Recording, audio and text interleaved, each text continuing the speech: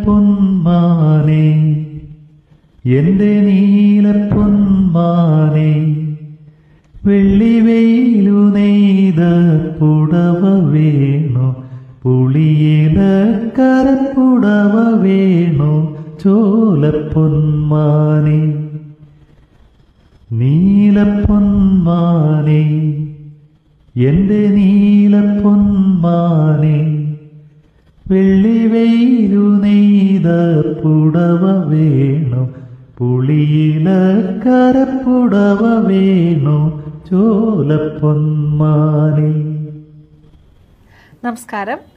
നീലപ്പൊന്മാനെ എന്റെ നീലപ്പൊന്മാനെ എന്ന ഈ പാട്ട് നമ്മുടെ എല്ലാവരുടെയും ഫേവറേറ്റ് തന്നെയാണല്ലേ? എത്ര കേട്ടാലും നമുക്ക് മതി വരികയുമില്ല. തിളങ്ങുന്ന നീല നിറത്തോടു കൂടിയ ശരീരമുള്ള മനോഹരമായ ഒരു പക്ഷിയായ നീലപ്പൊന്മാനെ കുറിച്ചുള്ള ഒരു ഇൻഫർമേഷൻ വീഡിയോ ആണ് ഇന്ന് പ്രിയപ്പെട്ട പ്രേക്ഷകരുമായി പങ്കുവയ്ക്കാൻ പോകുന്നത്.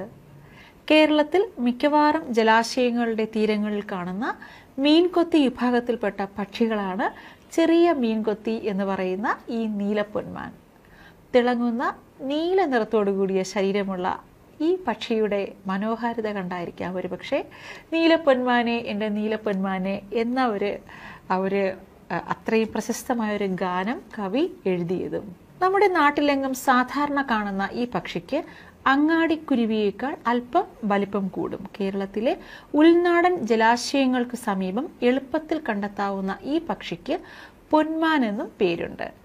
തിളങ്ങുന്ന നീല നിറത്തോടുകൂടിയ ശരീരമുള്ള ഈ മനോഹര പക്ഷികളെ അതുകൊണ്ട് തന്നെ നീലപ്പൊന്മാൻ എന്നും വിളിക്കുന്നു. ഏത് സമയത്തും വെള്ളത്തിനടുത്തിരുന്ന് അതിലേക്ക് ഉറ്റുനോക്കിക്കൊണ്ട് ജീവിക്കുന്ന ഒരു സുന്ദരൻ പക്ഷിയാണ് നാട്ടുമീൻകൊത്തി എന്ന് പറയുന്ന ഈ നീലപ്പൊന്മാൻ. പകൽ സമയത്ത് ഇര തേടുന്ന സ്വഭാവമുള്ള ചെറിയ ഈ മീൻകൊത്തിയുടെ പ്രധാന ആഹാരം ചെറിയ മീനുകളാണ്. ആകെ ഭക്ഷണത്തിന്റെ അറുപത് ശതമാനം മുതൽ അറുപത്തിയേഴ് ശതമാനം ഭാഗം മീനുകളും അഞ്ച് ശതമാനം മുതൽ മുപ്പത്തിമൂന്ന് ശതമാനം ഞണ്ട് ചെമ്മീൻ തുടങ്ങിയ ജീവികളും എന്നതാണ് കണക്കാക്കിയിരിക്കുന്നത്. സാധാരണയായി ജലാശയങ്ങളുടെ ഓരത്തുള്ള മരക്കൊമ്പുകളിലും മറ്റുമായി ഈ ഇരയ്ക്ക് വേണ്ടി കാത്തിരിക്കുന്ന ഈ പക്ഷി വെള്ളത്തിലെ ഇരകളെ ഇങ്ങനെ സൂക്ഷ്മമായി നിരീക്ഷിക്കുന്നു. ഇരയെ ശ്രദ്ധിച്ചിരുന്ന ശേഷം അവസരം ഒത്തുവന്നാൽ ഇവ അതിവേഗം വെള്ളത്തിലേക്ക് ഊളിയിട്ട് അതിനെ കൊക്കിലാക്കുന്നു. കല്ലിന്മേലോ മരക്കൊമ്പിലോ മറ്റോ ഇരുന്ന് ഇടയ്ക്കിടെ വാലിനെ താളം പിടിക്കുന്ന ഈ അതായത് ഭാഗവതരൊക്കെ കൈ പാട്ട് പാടുമ്പോൾ കൈയൊക്കെ പെട്ടെന്ന് ഉയർത്തിയും താഴ്ത്തിയും ചെയ്യുമല്ലോ. അതുപോലെ തന്നെ ഇതിന്റെ ഈ വാൽ താഴ്ത്തിയും താഴ്ത്തിയും ഉയർത്തിയും തല തല ഇടയ്ക്കുന്ന പൊന്തിച്ചും ഒക്കെ നോക്കിയുമായിരിക്കും തന്റെ ഇരയ്ക്ക് വേണ്ടിയുള്ള ഒരു കാത്തിരിപ്പ് ഈ പൊന്മാൻ നടത്തുന്നതും. മണിക്കൂറുകളോളം ഇരയെ ഇങ്ങനെ നോക്കിയിരുന്ന് മണിക്കൂറുകളോളം ഇങ്ങനെ നോക്കിയിരുന്ന് ഇരയെ കണ്ടെത്തി കഴിഞ്ഞാൽ ഈ പക്ഷി പൊടും തന്നെ ശരം പോലെ പറന്ന് വെള്ളത്തിൽ പ്രവേശിക്കും. കണ്ണിമ പൂട്ടുന്ന സമയം മാത്രം മതി വെള്ളത്തിൽ ആണ്ട് കിടക്കുന്ന ഇരയെ കൊക്കിലാക്കുകയും ചെയ്യും. ആ സമയത്ത് പുന്മാന്റെ കൊക്കിൽ ഒരു ചെറിയ മീൻ പിടയുന്നതും കാണാം. ഇരയെ കൊക്കിലാക്കിയ ശേഷം ചിറകുകൾ ഉപയോഗിച്ച് ശക്തിയായി തുഴഞ്ഞ് വെള്ളത്തിൽ നിന്ന് പുറത്തു കടന്ന് തിരികെ കൊമ്പിലേക്ക് വന്നിരിക്കുന്നു. അല്പം വലിയ മീനാണെങ്കിൽ മീനിനെ വാലിൽ കടിച്ചിരിക്കുന്ന കൊമ്പിലേക്ക് അടിച്ചു കൊന്ന ശേഷം തലഭാഗം ആദ്യം എന്ന രീതിയിൽ വിഴുങ്ങുന്നു. ഇങ്ങനെ ചെയ്യുന്നത് മുള്ളുകളുള്ള മീനുകളെ എളുപ്പം വിഴുങ്ങാൻ അതിനെ സഹായിക്കുന്നു. വിഴുങ്ങിയ ശേഷം ദഹിക്കാത്ത എല്ല് പോലുള്ള ഭാഗങ്ങൾ ഇവ തികട്ടി തുപ്പിക്കളയുകയും ചെയ്യും. മറ്റു മീൻകൊത്തി പക്ഷികളെ പോലെ ചെറിയ മീൻകൊത്തിയും സ്വന്തം അധീന പ്രദേശം പരിപാലിക്കുന്നതിൽ ശ്രദ്ധാലുക്കളാണ്. ദിവസേന സ്വന്തം ഭാരത്തിന്റെ അറുപത് ശതമാനം വരെ ഭാരം ഭക്ഷണം കഴിക്കേണ്ടതിന്റെ സമ്മർദ്ദം ആണിതിന്റെ പ്രധാന കാരണം. ഇത് കാരണം തന്നെ ഈ പക്ഷികൾ തന്റെ അധീന മേഖല സ്വന്തം ഇണക്കിളിയിൽ നിന്നും കുഞ്ഞുങ്ങളിൽ നിന്നും വരെ സംരക്ഷിക്കാൻ ശ്രമിക്കാറുണ്ട്. വർഷത്തിൽ ഭൂരിഭാഗം സമയവും തന്റെ അധീന മേഖലയിൽ ഇവ ഒറ്റയ്ക്കാണ് കഴിയുന്നതും. ഈ പ്രദേശത്തേക്ക് മറ്റു ചെറിയ മീൻകൊത്തി പക്ഷി എത്തിയാൽ ഈ പക്ഷികളും അല്പം അകലെയായിരിക്കും. അല്പസമയം പരസ്പരം കൊക്കും ശരീരവും കാട്ടി ഭയപ്പെടുത്തി അകറ്റാൻ ശ്രമിക്കും. ഇതും ഫലിച്ചില്ലെങ്കിൽ പരസ്പരം ഏറ്റുമുട്ടുന്ന അവസരങ്ങളും ഉണ്ടാകാറുണ്ട്. വിജയിക്കുന്ന പക്ഷി ആ പ്രദേശം തന്റെ അധീന ആക്കി മാറ്റുകയും ചെയ്യും. ചെറിയ മീൻകൊത്തി പക്ഷികളുടെ ചിറകടി അതിവേഗത്തിൽ ഉള്ളതാണ്. ആ സമയത്ത് ഇവയുടെ ചിറകുകൾ മങ്ങി മാത്രമേ കാണുകയുള്ളൂ. മണിക്കൂറിൽ നാൽപ്പത് കിലോമീറ്റർ വരെ വേഗതയിൽ ഇവ പറക്കും. അതുപോലെ തന്നെ ഈ നീലപ്പൊന്മാനും സാധാരണ മീൻകൊത്തികളുടെ പോലെ അത്രയ്ക്ക് ആവില്ലെങ്കിലും ഇവയ്ക്കും പറക്കുന്നതിനിടയിൽ പറക്കുന്നതിനിടയിൽ ഒരിടത്ത് തന്നെ ചിറകടിച്ച് വായുവിൽ നിൽക്കാനും പറ്റും.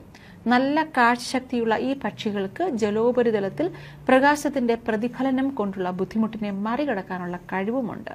ജലത്തിലെ പ്രകാശത്തിന് സംഭവിക്കുന്ന വളയലിനെ കണക്കിലെടുത്ത് ഇരയുടെ സ്ഥാനം കൃത്യമായി തീരുമാനിക്കാൻ ഈ പക്ഷികൾക്ക് കഴിയും.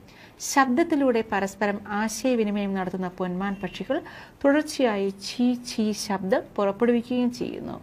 വിവിധ അവസരങ്ങളിൽ വിവിധ ആവൃത്തിയിലും അതായത് വിവിധ ഫ്രീക്വൻസിയിലും രീതിയിലുമുള്ള ശബ്ദം ഉണ്ടാക്കുന്നു.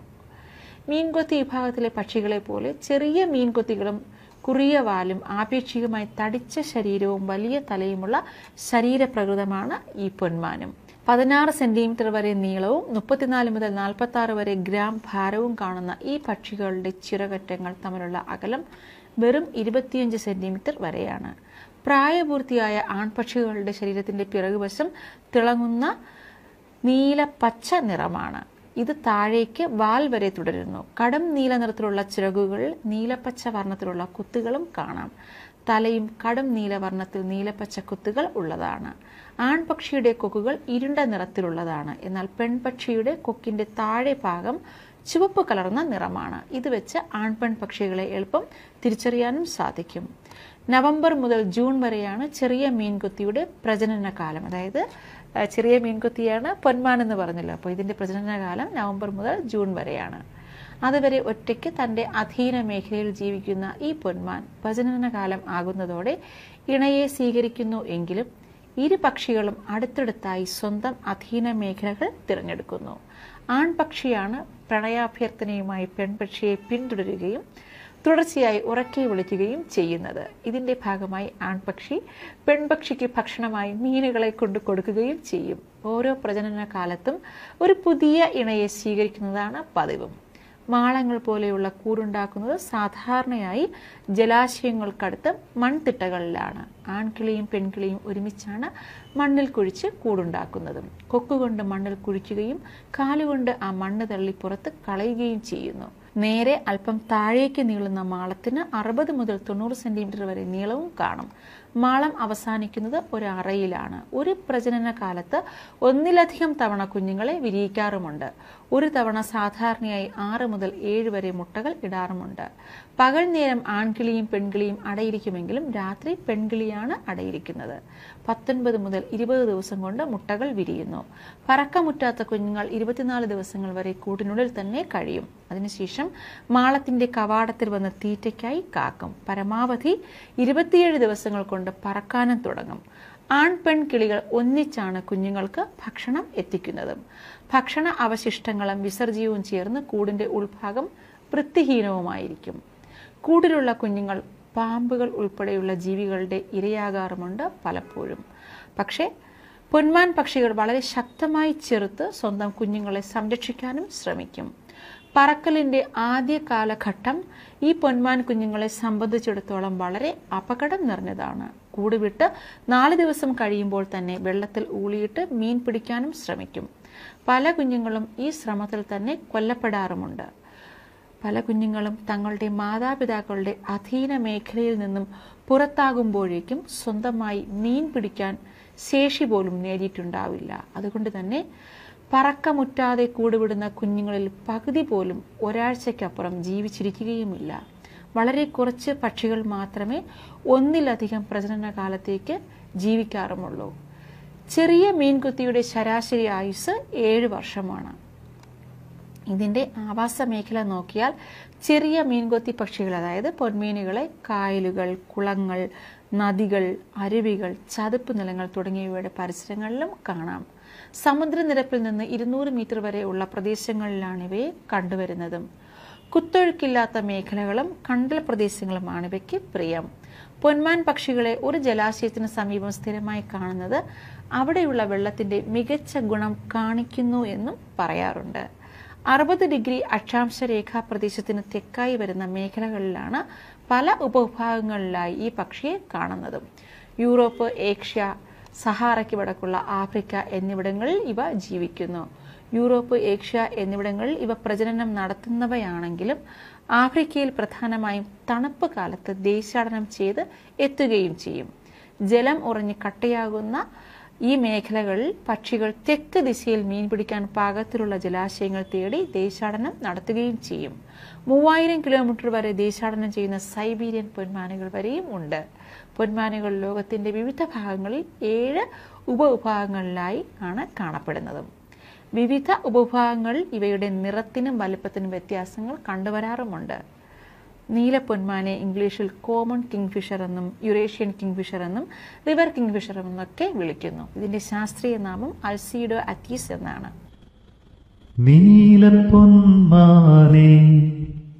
എന്റെ നീലപ്പൊന്മാനെ വെള്ളിവെയിലു നെയ്ത പുടവ വേണു പുളിയില കരപ്പുടവ വേണു ചോലപ്പൊന്മാനെ നീലപ്പൊന്മാനെ എന്റെ നീലപ്പൊന്മാനെ വെള്ളിവെയിലു നെയ്ത പുടവ വേണു പുളിയില വേണു ചോലപ്പൊന്മാനെ.